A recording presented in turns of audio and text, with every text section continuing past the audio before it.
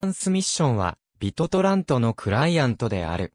フリーソフトウェアオープンソースソフトウェアであり、MIT ライセンスで配布されている。非公式バージョンでは2008年3月3日に iOS バージョンがリリースされている。トランスミッションは Android でも入手可能であり、トランスドロイドと命名されている。このように、トランスミッションはスマートフォンで動作可能。なお、早期プレビュー版ながら公式で Windows に対応。トランスミッションを使うことで、ファイルのダウンロードアップロードをインターネットから行うことができる。ユーザーはアイテムをドラッグドロップすることにより、ダウンロードアップロード用の Q を作ることができる。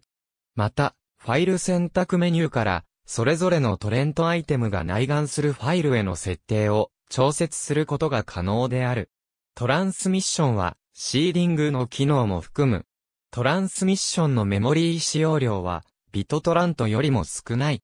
このプロジェクトは、複雑になりすぎない程度に機能向上を目的とし、シンプルで直感的にすることが、すべての動作プラットフォームにおけるインターフェースデザインの指針である。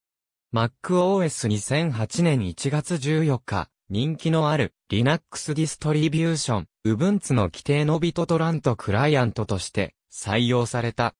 2008年1月10日には23万ダウンロードを超え、Mac アップデートでダウンロードされる最も人気のある BitTorrent クライアントでもある。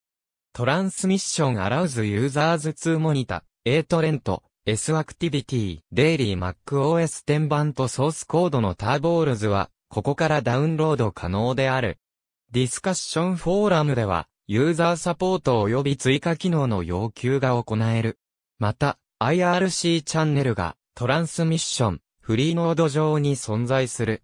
トランスミッションのバックエンドは、Mac 用、クライアントシェアウェア、ズトラントやトランスミッションデーモンにも基本的な機能を提供している。このデーモンは、クラッチと呼ばれる Web フロントエンドをサポートしている。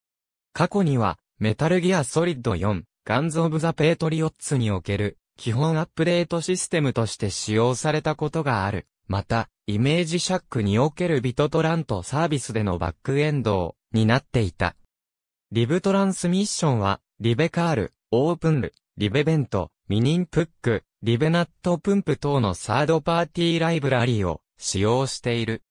バージョン0.6.1は、完全には、ビトトラントの使用に沿っていなかったため、多くのプライベートトラッカーから接続を拒否される。